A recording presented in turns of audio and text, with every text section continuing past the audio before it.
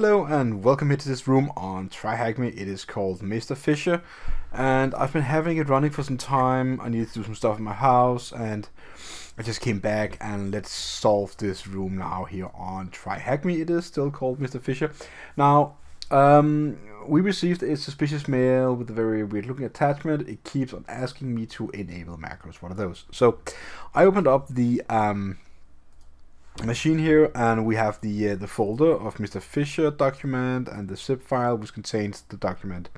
Now let's just open the document itself and see what happens. Okay, so it tells us this document contains macros and we could enable those. If we do that, we will be, you know, vulnerable. So let's just click OK for now. And this is the this is the file we get and and let's go to tools and let's go to macros and then edit macros and then under the document in I think it's modules we have this macro here called um, it's called uh, well there's a function called format. Now I don't really understand this code very well because this is visual basic so what we're gonna do is basically help ourselves with a web page that I have right here.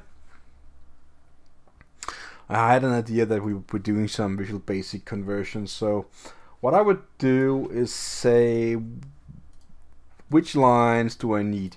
Now I'm pretty sure this this is the script because there's nothing else inside of these folders here. There's this document is empty.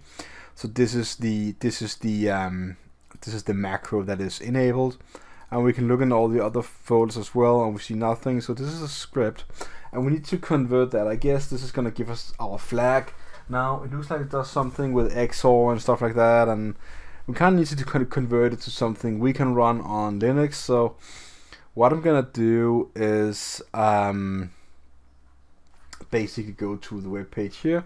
I'm gonna copy paste this line because that line is the one I don't understand in Visual Basic that well. So let's just go back here. Can I pull it in? What? There we go. I guess just take it there and just convert it. And what it does is just converting this to something we can use in Python. And basically this is the code. So let's, uh, this is going to be small c in, in, in Python. So let's convert this and all this is gonna be there are some slight differences because um, the A is, is probably an array and this is to be called so we're to get the error, error of it, it is not callable so let's uh, copy paste this and put it into a Python script and see if we convert this and get an actual flag maybe we should copy the code here let's see copy to own machine. There we go. Because we need to have this some sort of array here and uh, it's going to be a tuple. I think it's going to be alright. So let's go to the terminal. Um, let's do an let's do a touch. Uh, let's just j.py and nano into j.py. Let's do an array called a equal to. Now let's copy paste it one more time. Whoop. There we go. So this is our tuple, and then let's do a for i in range, and then do length of a. That's length of a. There we go, and then let's do the line we got just from before. So I'm gonna paste that in. Now we have a problem here. So first of all, we're filling up a variable called b Let's create the b variable equal to nothing. And on this line here, let's print b. So we get the content out. So this loop is going to loop through all the values we have. And we literally just converted the code. Now this is going to be a problem because we're going to make a a variable and we're going to call that. So we're going to replace the with uh, square brackets because we're going to access its index. Let's see if this this works. So let's do python 3 uh, a dot py j sorry dot py. And we got our flag. So let's copy paste this. Back to the machine, and we solve the room. Now this is pretty easy. Um, I was surprised this was just it.